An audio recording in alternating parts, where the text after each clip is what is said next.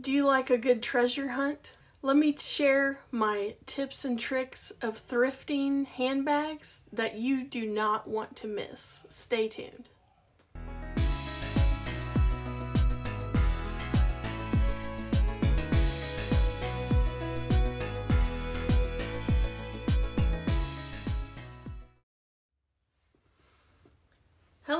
My name is Andrea. Welcome to my channel and thanks for joining me in the Babe Cave today. Yes, you heard right. If you like a good treasure hunt, especially for handbags, you need to hear my tips and tricks of how I thrift my handbags and accessories. So, first thing that I have learned on my own some of these tips that I'm about to share with you just based on my experience. So, if you have more tips, I will be glad to hear them down in the comments. So, number one, download the Google app, and you'll notice that I'll put a picture up here that there is a camera button that you really need this app for that camera. So that's the first thing you want to do before even leaving the house. Two, thrifting can be frustrating. At certain times of year, you get more for less, or you get more bags thrifted at certain times of year. For instance, for me, I notice I have better luck at the end of December to the beginning of January. I can find a whole lot of bags because people are going through their closets. They just got new bags for Christmas and they want to donate the ones they're not using anymore. And that is a prime time, the after Christmas, you want to go to your thrift store. Uh, sometimes the after February, it's a little slow. There's Nova.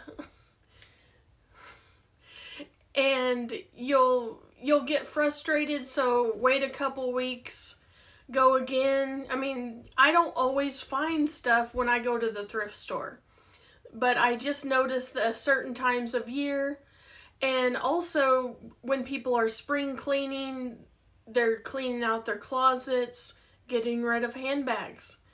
So maybe you know, I haven't had the best of luck lately. I've I have found a couple that I'm going to show you that I haven't showed that are are, are for sale. like for instance, uh, I found a I don't typically buy Vera Bradley anymore. I've learned my lesson. They just don't resell for anything for anybody. but I did pick up this one it is a Harry Potter exclusive, and it's also the sling bag. And these are selling for pretty good profit. So I did pick up this recently. So, so time of year is important. Before you even go to the thrift store, you need to sign up for their emails because when you sign up for their emails, you will get coupons. And you want to go on those days that say 50% off shoes and accessories. Accessories means wallets, purses, clothes, all of the things. So those are the important days when you get 50% off. And they always say excludes green tag or exclu- excludes orange tag.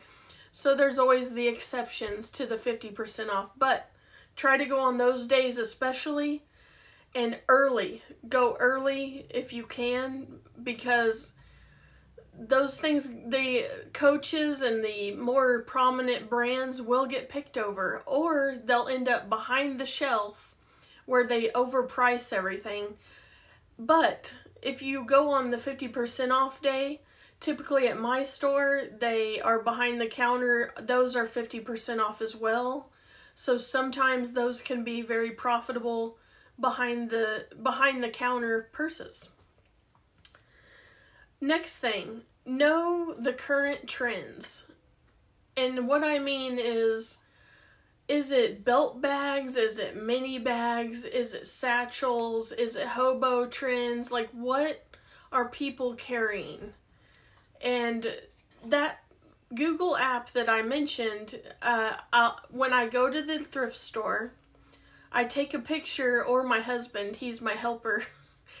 I'll pull the bags and he takes pictures and tells me what they sold for you know, the condition of those bags that sold, how long were they on the market for? That's important too.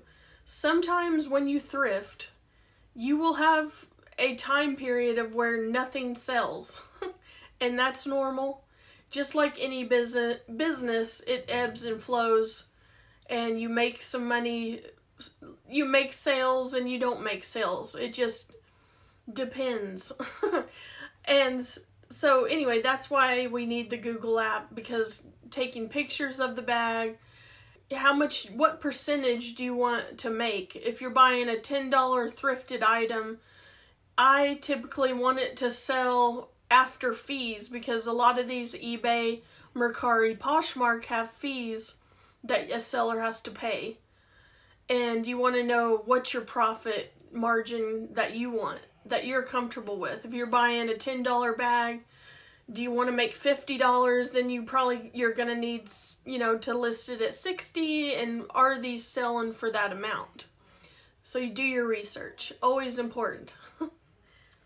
the next tip is what I touched on, you know, you're not always going to see every expensive brand behind the counter because they make mistakes and they put some Brightons in the normal purse areas.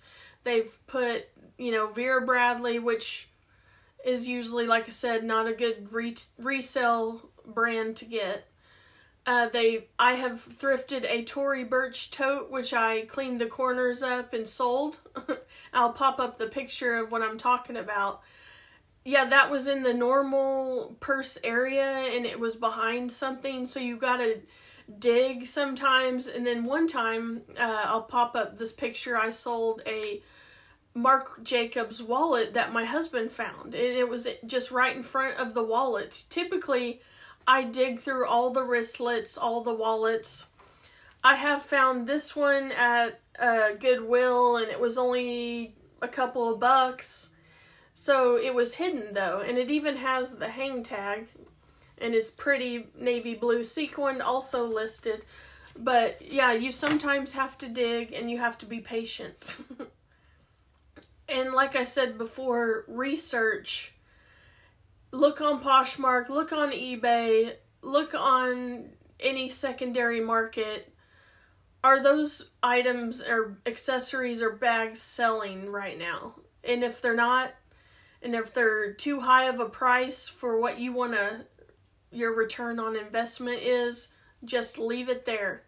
My next tip is check every strap corner inside uh, of the bag, every pocket for snags, for rips, for piping showing, for any kind of scuff marks. Now, I have picked up some that were a little rough, I sell resell Kipling's really good at a, my boutique I sell locally, and those are pretty easy to clean up. And I've sold a lot of Kipling bags, and uh, so just because it's a little dirty doesn't mean you can't clean it, condition it, make it look brand new again. So this is an important tip. Just because it's not your style or what you would pick out or your color or you know it doesn't mean that other people aren't going to want that style or that color or that brand that you're not interested in so again research you know thrifting to me is a way that i can make extra money uh, but it's also like a treasure hunt like i mentioned at the beginning it's about finding hidden treasures that people just donated and that can have a second life. And I I sell bags and accessories at the going rate, okay? Whatever a coach Rowan is selling for in that print or that design, that's what I'm selling it for. So if I buy it for 10, I'm not going to sell it for 10. Just you know, it's a it's a treasure hunt and I've went weeks where I don't find anything and then I find you know, a few weeks later I'll find like three things. I also um, you know, this is another tip. I also have sold, which this one's not for sale. This was my gift from Nancy. Uh, if you see any Christian Dior, I've sold a makeup brush holder. I've sold, you know, you know how you get the free item with Chanel or Christian Dior makeup pouch or perfume samples. I've sold probably three of those. They're not leather, but people like the name or the logo and they're worth picking up for the right price.